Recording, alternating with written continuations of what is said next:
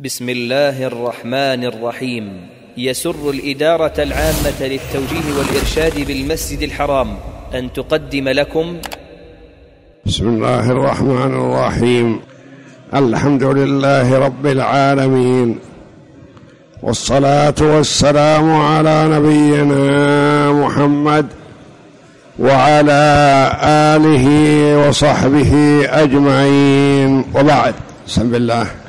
بسم الله الرحمن الرحيم. الحمد لله رب العالمين والصلاة والسلام على أشرف الأنبياء والمرسلين نبينا محمد عليه وعلى آله أفضل الصلاة وأتم التسليم. وبعد يقول تعالى في سورة الإسراء أعوذ بالله من الشيطان الرجيم.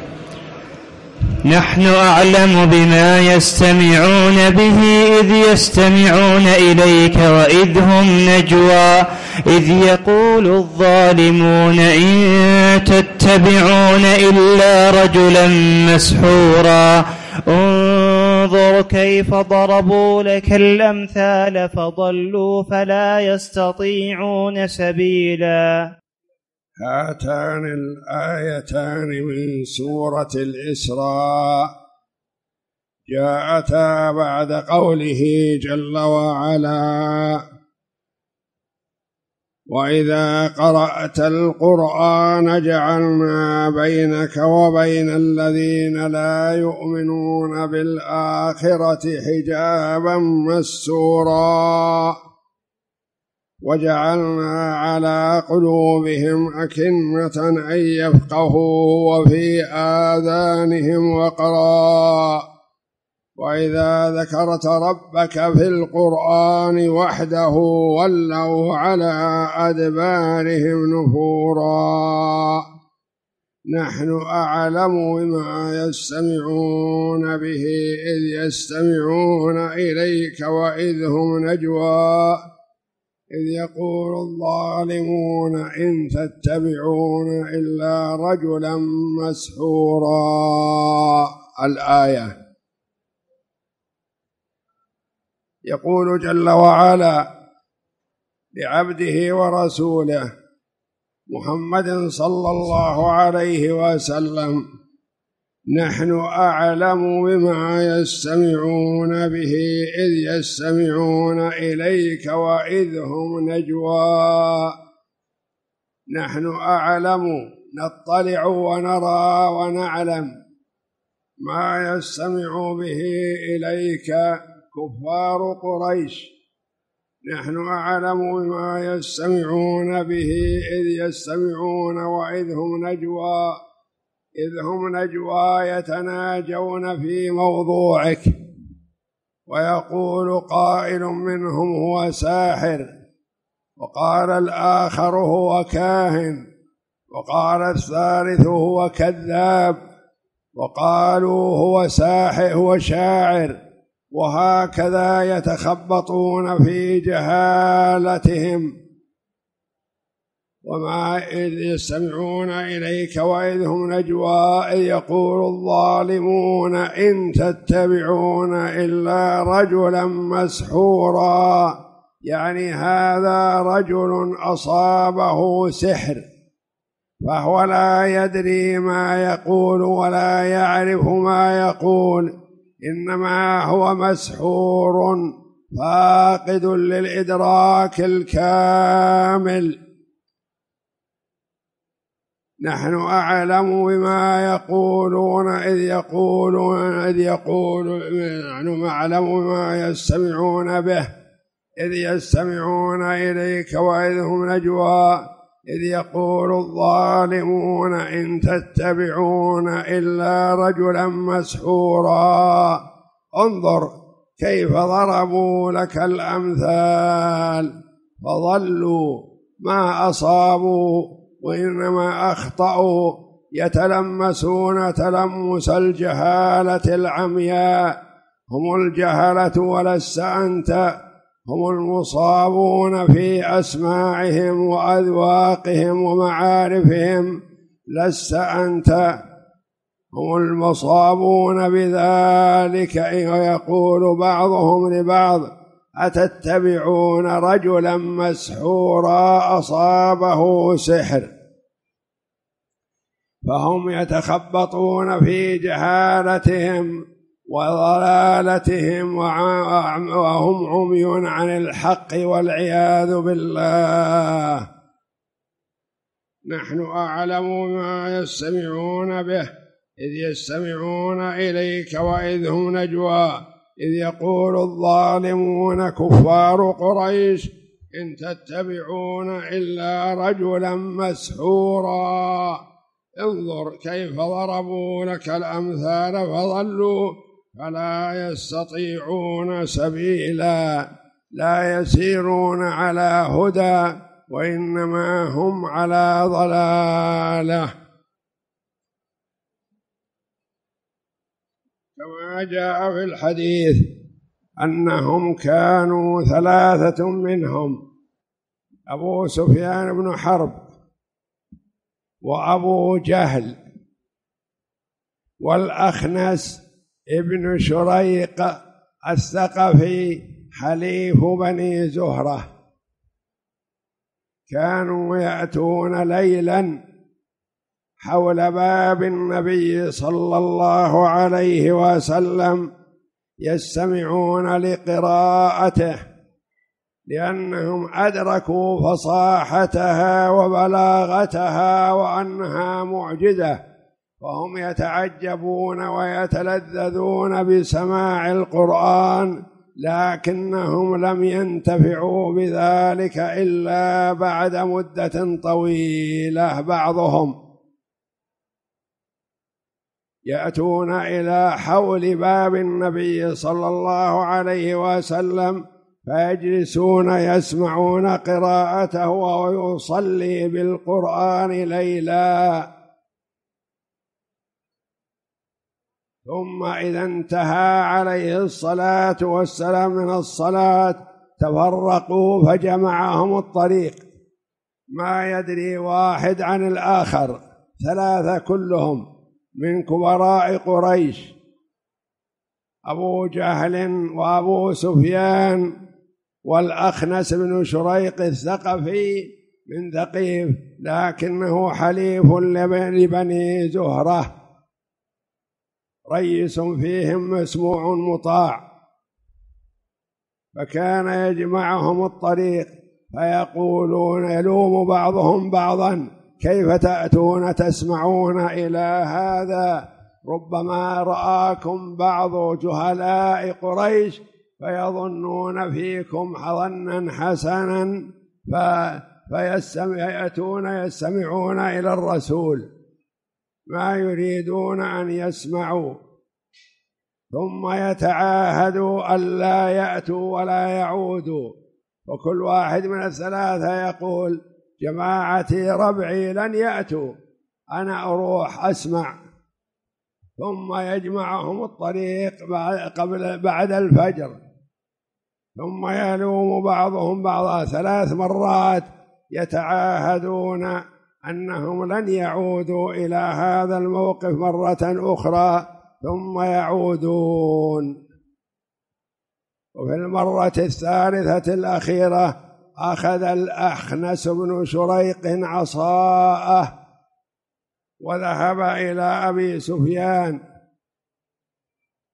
وقال ما تقول فيما سمعت البارحة؟ قال سمعت شيئا فهمته وسمعت شيئا لم أفهمه ما أدري ما يراد به. فقال الأخنس وأنا والله مثلك. سمعت شيئا عرفته وسمعت أشياء ما عرفتها. ثم ذهب إلى أبي جهل فقال ما تقول يا أبا الحكم فيما سمعت من محمد البارحة؟ فقال أبو جهل لا تقل شيئا تناظرنا نحن وبنو عبد مناف فأطعموا فأطعمنا وأعطوا فأعطينا وتفاخرنا حتى كنا كفرسي رهان حتى قالوا منا نبي يأتيه الوحي من السماء ومتى ندرك كذلك والله لا نؤمن به والله لا نؤمن به والله لا نصدقه هذا كلام أبو جهل قبحه الله.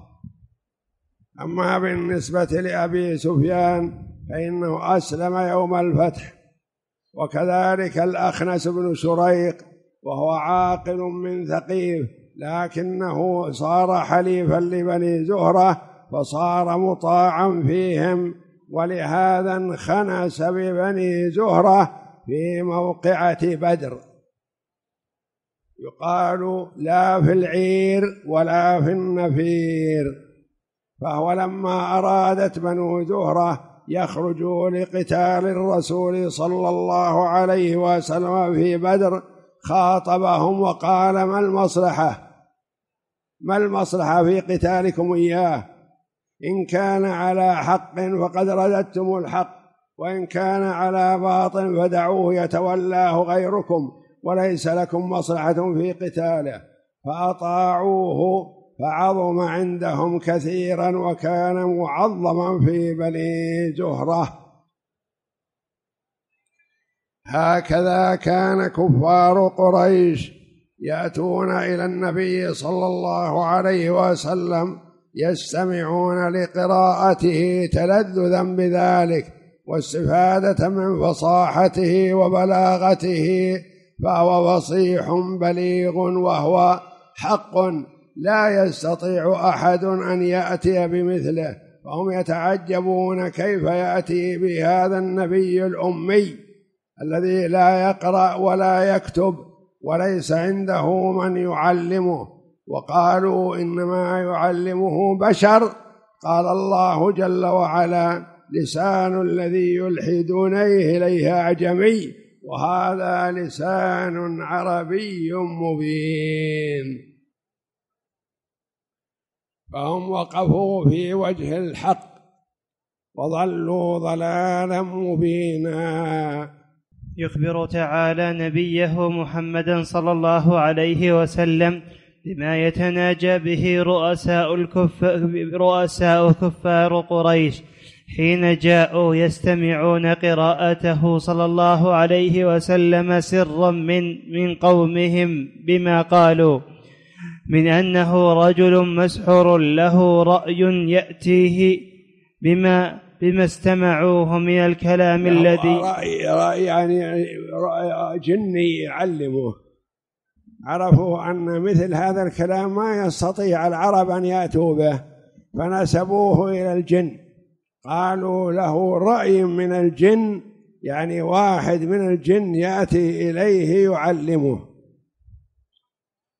فقالوا من أنه رجل مسحور له رأي يأتيه من بما استمعوه من الكلام الذي يتلوه. ولهذا قال تعالى انظر كيف ضربوا لك الأمثال فضلوا فلا يستطيعون سبيلا. أي فلا يهتدون إلى الحق ولا يجدون إليه مخلصا. قال محمد بن إسحاق رحمه الله في السيرة إن أبا سفيان بن حرب إن أبا سفيان بن حرب وأبا جهل بن هشام والأخنس بن شريق خرجوا ليلة يستمعون من رسول الله صلى الله عليه وسلم وهو أما يصلي بالليل. أما أبو سفيان فأسلم. أسلم يوم الفتح. بعدما كاد أن يقتل يوم الفتح أسلم ودخل في الإسلام رغم أنفه وصار من المؤلفة قلوبهم. وكذلك الأخنس بن شريق يقال أنه أسلم يوم الفتح أو أسلم قبل هذا ثم ذهب إلى النبي صلى الله عليه وسلم فرجع وارتد ثم أسلم فلا ندري ماذا كانت عاقبته. وكان مطاعا في بني زهرة لتركهم الخروج مع ضد النبي صلى الله عليه وسلم في موقعة بدر وهو حليف لهم ليس منهم هو ثقفي من أهل الطائف لكنه جاء إلى مكة فصار حليفا لبني زهرة وترأس فيهم وعظم شأنه. قال محمد بن إسحاق في السيرة أن أبا سفيان بن حرب وأبا جهل بن هشام والأخنس بن شريق خرجوا ليلة يستمعون من من رسول الله صلى الله عليه وسلم وهو يصلي بالليل في بيته فأخذ كل واحد منهم مجلسا يستمع فيه تل ويستمع فيه وكل وكل لا يعلم بمكان صاحبه. الآخر كل واحد ما يدري عن الآخر. ظلمة ظلام. كل واحد جلس في مكان يسمع قراءة النبي وهو في بيته في الليل ولا يدري أبو سفيان عن ابن عن, عن الأخنس بن شريق عن أبي جهل. فأخذ كل واحد منهم مجلسا يستمع فيه.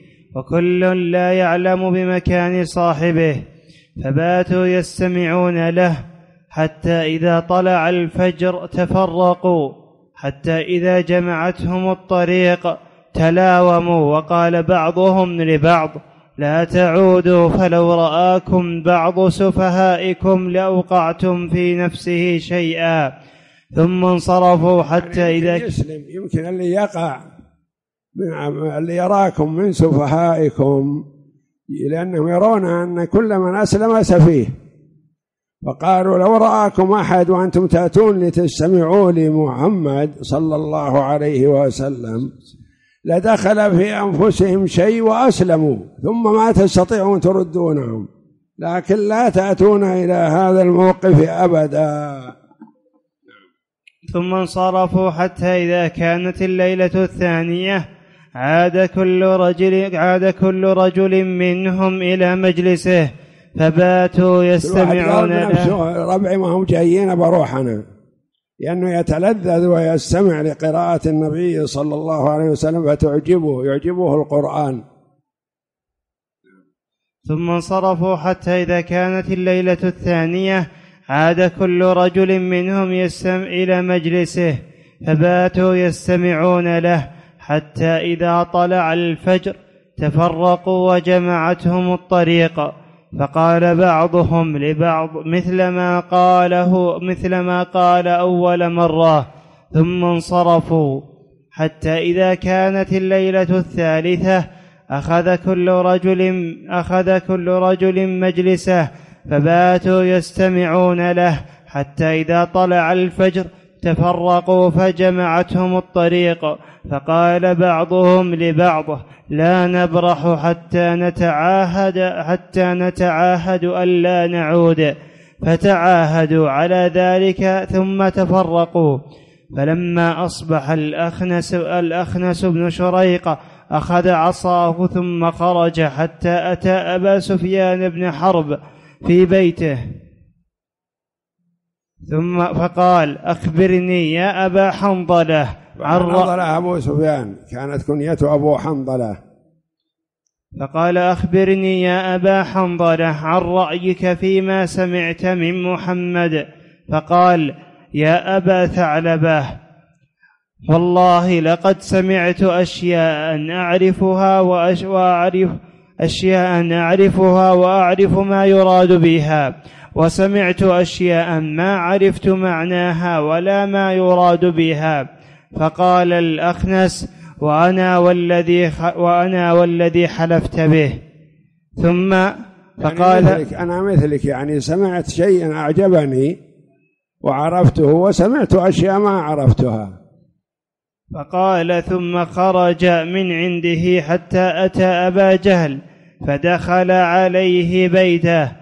فقال يا أبا الحكم ما الحكم أبو جهل وسماه الرسول صلى الله عليه وسلم أبو جهل.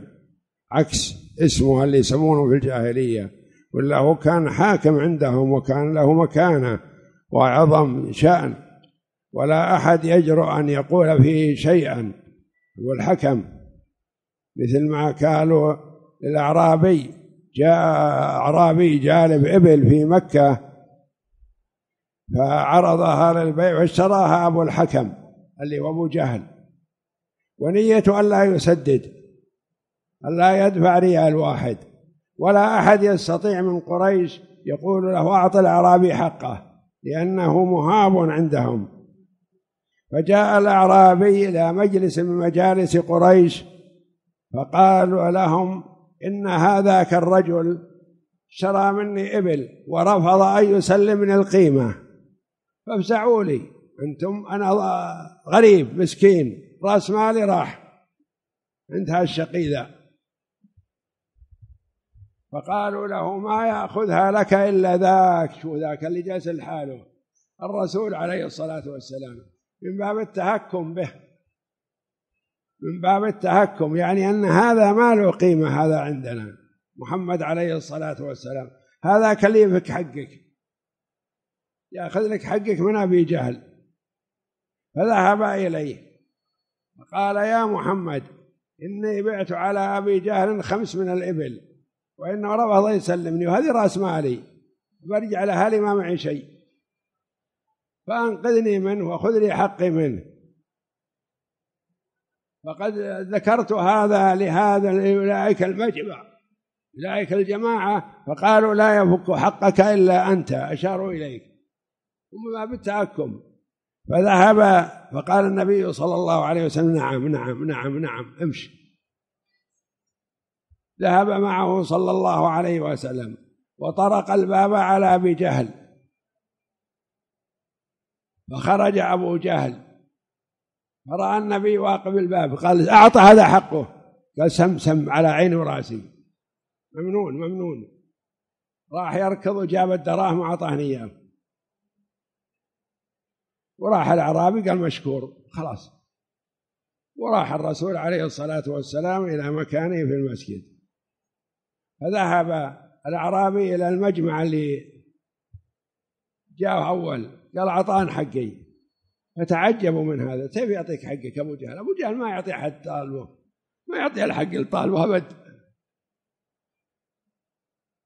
فقد ذهب معي الرجل الذي أشرت إليه وأعطاني حقي. فخرج أبو جهل من داره وذهب إلى قريش في مجمعهم فقالوا كيف؟ يوم جاءك البدوي العربي هذا هو يا محمد؟ أعطيته حقه. قال ما تدرون شفت شيء يهول. شفت شيء يهول ما صبرت.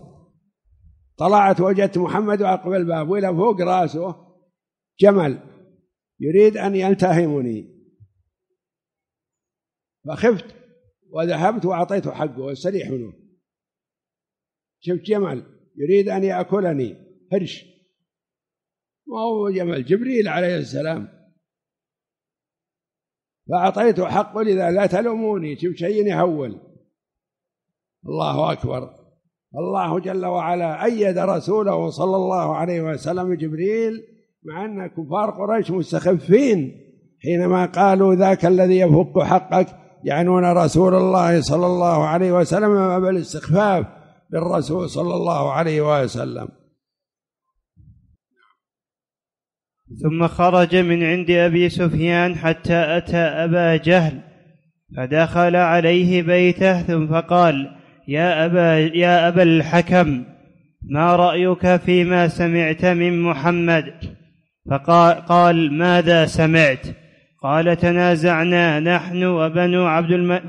قال أبو سب... قال أبو جهل تنازعنا نحن وبنو عبد المناف الشرف. أطعموا فأطعمنا وحملوا فحملنا, فحملنا وأعطوا فأعطينا حتى إذا تجاء حتى إذا تجاء تجاءينا على الركب صرنا كورأس رهان استوينا إحنا وياهم في المكارم. حتى إذا تجاثينا على الركب وكنا ك... على الركب. على الركب وكنا كفرسي رهان فقالوا منا نبي يأتيه الوحي من السماء فمتى ندرك هذه؟ والله لا نؤمن به أبدا ولا نصدقه. قال فقام عنه الأخنس وتركه. والله أعلم. أخذته العزة بالإثم والعياذ بالله. وليشوف الرسول عليه الصلاة والسلام أنه صادق وأمين. ويقول لهم الحق يقول لهم قولوا لا إله إلا الله غير ذلك من الكلام الحسن. والنبي صلى الله عليه وسلم كان ياتيه ويقول يا أبا الحكم يا أبا الحكم يا أبا الحكم. فرفض الإسلام والعياذ بالله. مع أن النبي صلى الله عليه وسلم أحسن الظن به أول الأمر فقال اللهم أيد الإسلام بأحب العمرين إليك عمر بن الخطاب أو عمرو بن هشام أبو الحكم الذي هو أبو جهل قبحه الله. فكان أحب الرجلين إلى الله عمر بن الخطاب وكان عمر واقف في وجه الدعوة إلى الله. واحد أي واحد يسلم يذهب إليه ويتوعده ويصد عن الإسلام. فلما ألقى الله الإسلام في نفسه أسلم رضي الله عنه. كان خارجا فرأى رجلا مسلم فقال أصبعت؟ يقول له عمر. أصبعت؟ قال لا ما أصبعت لكني أسلمت. كيف تسلم؟ توعده يبي يضربه قال لا تضربني. اذهب إلى أختك. شوف أختك وزوجها أسلموا مثلي. أختك وزوجها أسلموا مثلي. لا تضربني. يعني أختي أسلمت؟ قال نعم أختك أسلمت. فذهب ثائر يبي يضرب أخته وزوجها. فدخل عليهم. فإذا هو عندهم خباب بن الأرت رضي الله عنه يقرئهم القرآن. فاختفى خباب تحت الفراش علشان ما يشوفوا عمر لأنه يشوفوا عمر قضى عليه بسيط هو خباب بن الأرت ضعيف مسكين رضي الله عنه. فاختفى عن عمر. فقال ما هذه الهمامة التي تقولون؟ ما هذا الصوت الذي سمعته؟ قالت أخته دعنا من شقاوتك يا عمر. تبتل بالشقاوة؟ مد يده ضرب زوجه. قامت وحاولت تحاول تحجز بينه وبين زوجه لا يتضاربون. فصك عمر أخته مع جبينها فسال الدم فلما راى الدم يسير من أخته ارعوى واذعن قالت هذا الذي تسمع منا القرآن كلام الله جل وعلا. ونحن مسلمون. وأنت تبتي بشقاوتك تب إلى الله وخليك رجال. فرعوى وأذعن. يوم شاف الدم يسيل من جبين أخته لانت شكيمته. قال ورينا الورقة اللي تقريني لأنه يقرأه. وريني إياه. قالت لا لا ما أوريك إياه. أنت نجس أنت مشرك. ما أوريك إياه. هذا كلام الله ما أعطيه إلا واحد متطهر. قال متى تعطيني اياه قالت ما أعطيك إياه حتى تطهر توضأ. تغتسل. فلان السكان وقام وتوضأ وأخذ الصحيفة وقرأها. يريدون انه يمزقه ما مزقة قال اللي يريد يدخل في الدين وين يروح؟ قالوا يذهب إلى محمد صلى الله عليه وسلم أين محمد؟ مختفي في دار الأرقم من ابي الأرقم معه فقراء المسلمين رضي الله عنهم وأرضاهم فذهب عمر إلى محمد صلى الله عليه وسلم في دار الأرقم فطرق الباب. فتعالم الصحابة اللي داخل مع الرسول عليه الصلاة والسلام أن هذا عمر عند الباب. وكل واحد لا راح يفتح له ما استطاع رجع. ما أقدر. عمر هامة. يخبطه له ميت طيح في الأرض. فقال الرسول صلى الله عليه وسلم الشجاع الجيد العظيم دعوه اتركوه لي. فتأخر الصحابة وتقدم الرسول صلى الله عليه وسلم. فلما فتح وإذا عمر ثاير فمسك بتلابيبه عليه الصلاة والسلام ونفضه نفضة جيدة. إلى متى يا عمر؟ تؤذي المسلمين. يظن أنه جايين بقاتل. يظن عليه الصلاة والسلام أنه جاي بقاتل. قال أشهد أن لا إله إلا الله وأشهد أنك رسول الله. اللهم صل على محمد رضي الله عنه. فكبر صلى الله عليه وسلم. فسمع تكبير من في الدار فكبروا وارتج البيت بالتكبير. لما أسلم عمر غنيمة. عمر إسلامه ليس كإسلام أي واحد عادي رضي الله عنه. فأسلم عمر فيقول ابن مسعود رضي الله عنه ما استطعنا أن نصلي في المسجد علانية إلا بعد إسلام عمر. لما أسلم عمر رضي الله عنه قال الرسول صلى الله عليه وسلم إلى ما نختفي يا رسول الله؟ نروح نصلي بالمسجد. قال نخاف من جماعتك. الله عنه الله أكبر. فذهب بهم رضي الله عنه هو في الميمنة والحمزة في المي... بالطريق الثاني مع الرس مع الصحابة. كل واحد مسك بصف وراحوا للرسول المسجد الحرام وصلوا فيه علانية رضي الله عنهم وأرضاهم. ولا قبل ما يقدرون. الرسول عليه الصلاة والسلام يدافع عنه أبو جه أبو أبو طالب. وعمر وأبو بكر الصديق له جماعته. والمستضعفين من المسلمين ما أحد يدافع عنهم. فما أحب الرسول صلى الله عليه وسلم أن يعرضهم للفتنة. حتى أسلم عمر رضي الله عنه فذهب بهم إلى المسجد رضي الله عنه هو حمزة رضي الله عنهم. حمزة وعمر أسلموا مع بعض قريب من بعضهم رضي الله عنهم. الله أكبر. بدعوة الرسول عليه الصلاة والسلام اللهم أيد الإسلام بأحب العمرين إليك يعني كل واحد عمر عمرو وعمر كلهم أقوياء أشدة لا يخافون أحد. رضي الله عن عمر بن الخطاب وكان أحبهم إلى الله جل وعلا. عمر بن الخطاب رضي الله عنه الذي ما سلك طريقا إلا سلك الشيطان طريقا غير طريق عمر رضي الله عنه. فيسر الله إسلامه فأسلم رضي الله عنه بهذه الطريقة.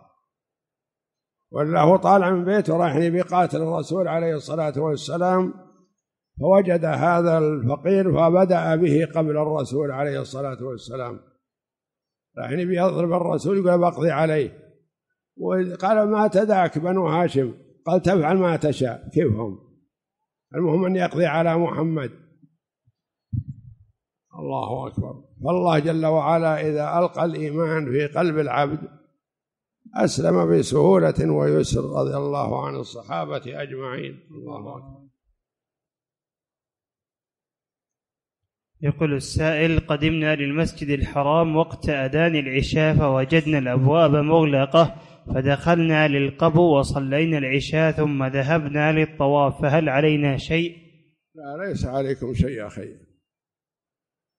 يعني تقفيل الأبواب لأن الناس لو فتحت الأبواب يتراكموا وأتعب بعضهم بعض وربما قتل بعضهم بعضا وآذوا بعضهم بعضا فكانوا إذا امتلأ المسجد يقفلون الأبواب علشان الناس يصلون خارج يقول السائل هل تصح العمرة من ميقات الجعرانة بعد تأدية العمرة الأولى من الجحفة على. الجعرانة أخي ليست ميقاتا وإنما هي من الحل. فمن لم يعزم على العمرة إلا من الجعرانة فقد أحرم النبي صلى الله عليه وسلم منها. أما من كان عازما على العمرة قبل الجعرانة فعليه أن يحرم من المواقيت. ولا ينبغي له أن يحرم من الجعرانة لأن الجعرانة ليست ميقاتا. لا لأهل مكة ولا لأهل الطائف ولا لغيرهم وإنما هي من الحل. وسبب إحرامه صلى الله عليه وسلم من الجعرانة أنه خرج من مكة لقتال أهل الطائف وأهل حنين. ولما غنم غنائم حنين وجهها إلى الجعرانة لتبقى هناك وجعل عليها أحد الصحابة رضي الله عنهم. وذهب لقتال أهل الطائف وحاصر الطائف ثم لما لم يفتح له عليه الصلاة والسلام جاء إلى الجعرانة فقسم غنائم حنين ثم عزم على العمرة وأحرم من الجعرانة ودخل مكة وبعد مكة ذهب إلى المدينة صلوات الله وسلامه عليه. فالجعرانة ليست ميقاتا وإنما هي من الحل. مثل التنعيم ليس ميقاتا لأهل مكة كما يزعم بعض الناس وإنما هو من الحل. فمن جاء إلى هذا الحل يحرم منه من مكة فليس بشيء. وإنما إذا عزم على العمرة وهو بالجعرانة فله أن يحرم منها. يقول السائل ما هي أفضلية صلاة التطوع والنوافل في الحرم المكي؟ عما سواه من المساجد وأيضا قراءة القرآن الكريم أم أن الحديث الشريف خاص بالصلاة المكتوبة فقط؟ الصلاة مضاعفة إن شاء الله في سائر أنحاء مكة لأن مكة كلها حرم والصلاة فيها مضاعفة وإنما الصلاة في المسجد الحرام أفضل لكونها أقرب إلى الكعبة ولكونه أقدم في العبادة ولأمور كثيرة لا تحصل في غيره.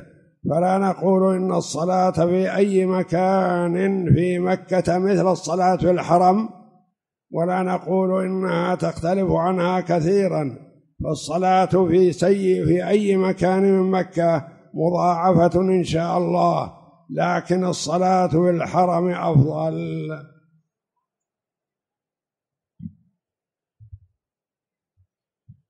يقول السائل ما هي الحكمة من وصف الله من وصف الله تعالى المشركين بالظالمين مع أنهم كفار؟ هل الظلم أشد من الكفر؟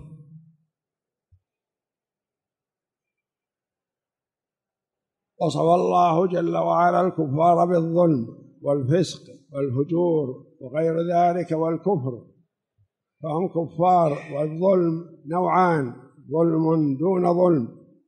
ظلم لا يصل إلى حد الكفر مثل لو ظلم شخص آخر في حقه يعتبر ظالم لكن لا يقال إنه كافر.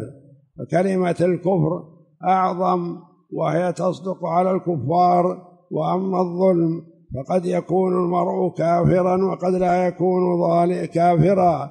والله جل وعلا وصف الكفار بالظلم وبالفسق وبغير ذلك من الأوصاف.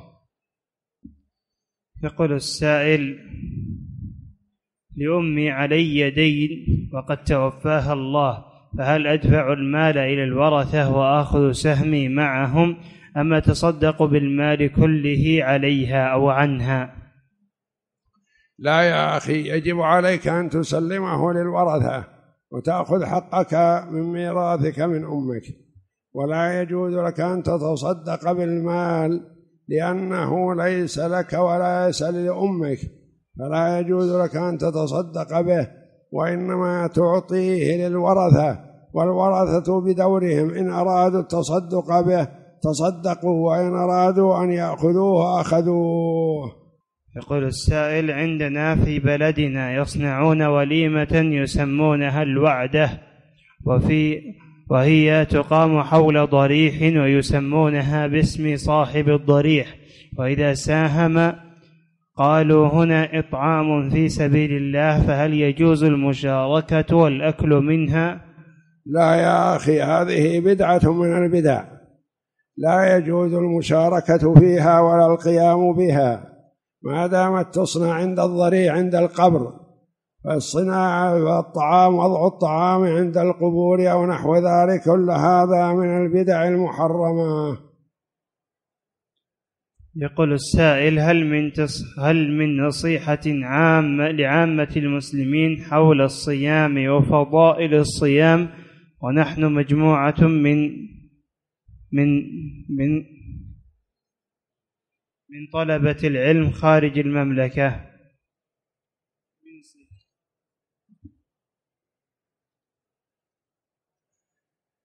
يجب على المسلم أن يخلص في صيامه لوجه الله تعالى وأن يصون لسانه وجوارحه إذا صام. فيجب على المسلم أن يبتعد عن الحرام ويبتعد عن الظلم ويصدق بوعد الله جل وعلا وما وعده رسوله صلى الله عليه وسلم. وأن لا يصوم إلا بثبوت شهر رمضان برؤية عدلين أو إكمال شعبان ثلاثين يوما. لقوله صلى الله عليه وسلم صوموا لرؤيته وأفطروا لرؤيته فإن غم عليكم فأكملوا العدة أكمل عدة شعبان ثلاثين يوما. وهكذا ينبغي للمسلم أن يكون مخلصا لله في جميع أعماله. يقول السائل عندنا مسجد في بلادنا تم إعادة صيانته فقد أشرف على صيانته رجل وهذا الرجل أغلب ماله من الحرام.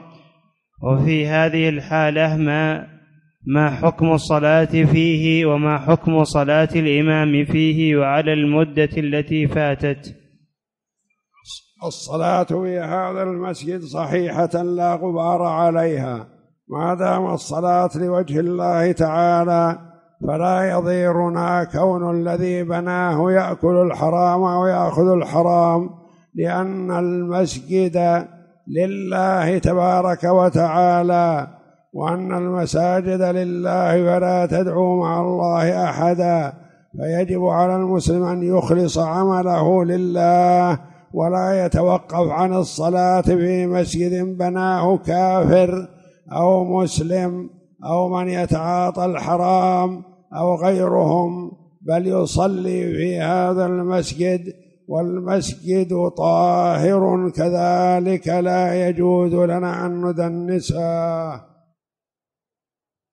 يقول السائل وكنا كفرسي رهان ما معنى كفرسي رهان يعني تساوينا الفرسين إذا تساويا يقال تساووا فرسي رهان يقول هل الجن رقيب وعتيد مثل الإنس؟ الله أعلم. يقول السائل أتممت عمرتي هل يمكن لي أو هل يمكنني الاعتمار عن غيري؟ على ما آتي أسكن. في الجزائر ولا أستطيع الإحرام في العام فلا أستطيع الإحرام في المرة القادمة في العام القادم فكيف أفعل؟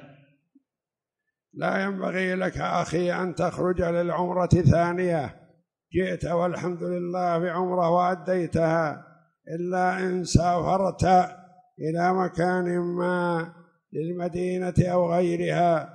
ثم رغبت في العمرة وقدمت مرة أخرى للعمرة من مكان بعيد فالعمرة الصحيحة المشروعة هي التي يقدم بها المرء إلى مكة وليست العمرة التي يخرج بها من مكة.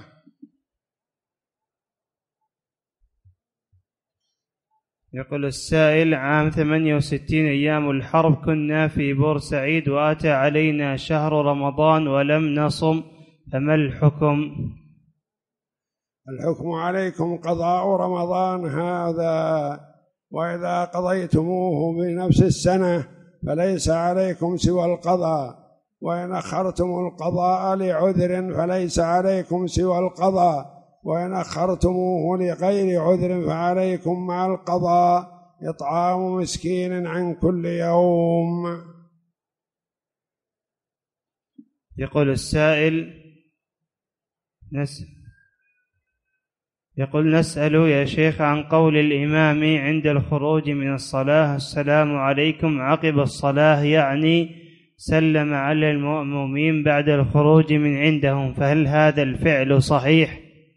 هذا الفعل واجب. ركن من أركان الصلاة السلام. والمسلم يسلم على الملائكة ويسلم على الآدميين. كل من حوله يسلم عليه.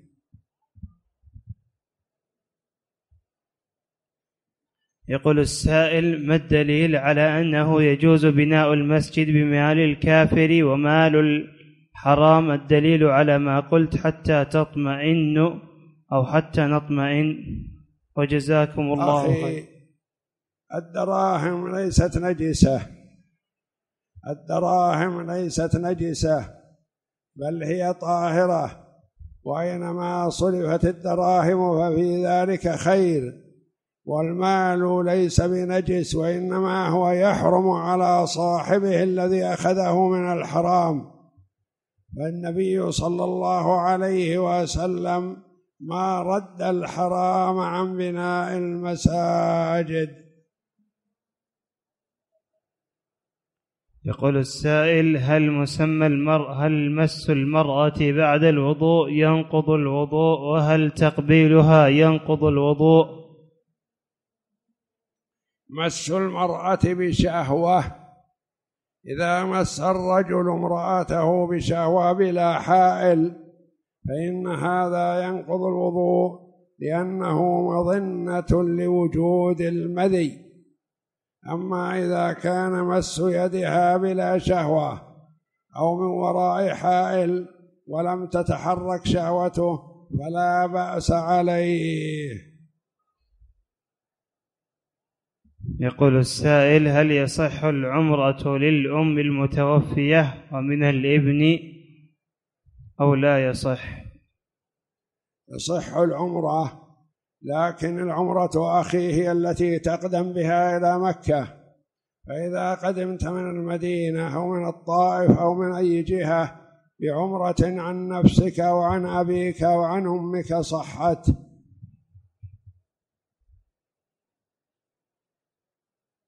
يقول السائل ما حكم سب بعض الصحابة لأن بعضهم ما يسلب أو بسلك بسلك النبي صلى الله عليه وسلم؟ جاء بعض التابعين رضي الله عنهم إلى عائشة رضي الله عنها فقالوا يا أماه إن الناس يتعرضون لبعض الصحابة ويسبونهم. حتى أبي بكر وعمر يسبونهم رضي الله عنهم فقالت وما يدريك؟ لعل الله أراد للصحابة خيرا فانقطعت أعمالهم بموتهم فأراد الله جل وعلا أن يستمر لهم العمل الصالح بتعرض الجهلة لهم فالمتعرض لهم يلوم نفسه ويضر نفسه وهم لا يضرهم ولا يضيرهم سبهم إياهم رضي الله عنهم. فالله جل وعلا قد رضي عن صحابة رسول الله صلى الله عليه وسلم وهم مكرمون محبوبون عند الله جل وعلا وعند رسوله فلا يضيره سبهم. وإنما هذا خير ساقه الله جل وعلا للصحابة رضي الله عنهم وأرضاهم.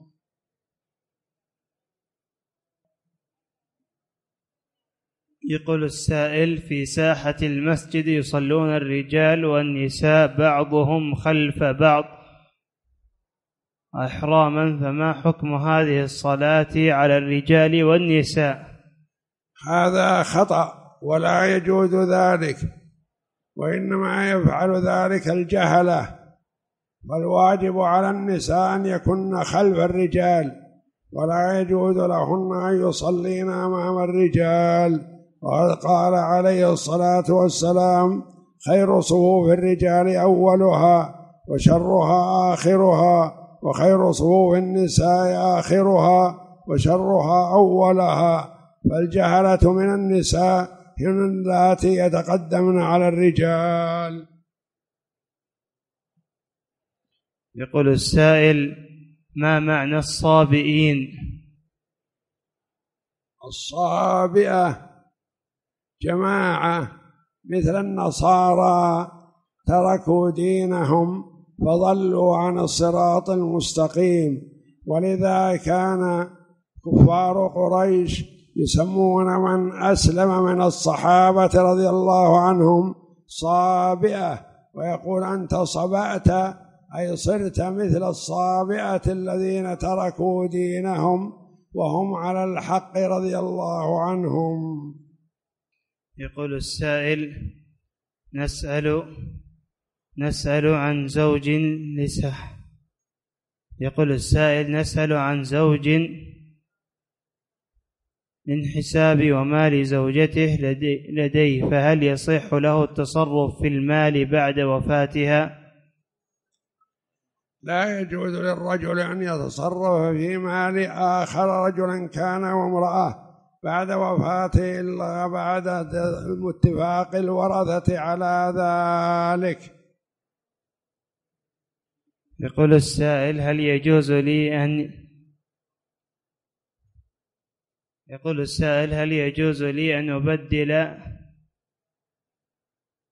رز غير جيد برز جيد يعني اثنين كيلو مقابل أربعة كيلو أم لا يجوز؟ لا يجوز هذا من الربا وإنما عليه أن يبيع الري الردي بدراهم ويأخذ الدراهم ويشتري بها الرز الجيد إذا أراد إبداله. لكن لا يبدل صاعا بصاعين ولا واحد واثنين وثلاثة بأربعة وخمسة ونحو ذلك لأن النبي صلى الله عليه وسلم لما جاءه تمر من خيبر قال لمن جاء به أتمر خيبر هذا كله كذا هذا الطيب؟ قال لا كنا نبدل الصاع من هذا بالصاعين من التمر الردي. فقال عليه الصلاة والسلام أوه أوه عين الربا عين الربا لا تفعل. بع الجمع بالدراهم واشتري بالدراهم الطعام الذي تريده. هذا وأرجو الله جل وعلا أن يمن علي وعليكم بالعلم النافع والعمل الصالح والبصيرة في الدين إنه سميع مجيب. وصلى الله وسلم وبارك على عبده ورسول نبينا محمد وعلى آله وصحبه أجمعين.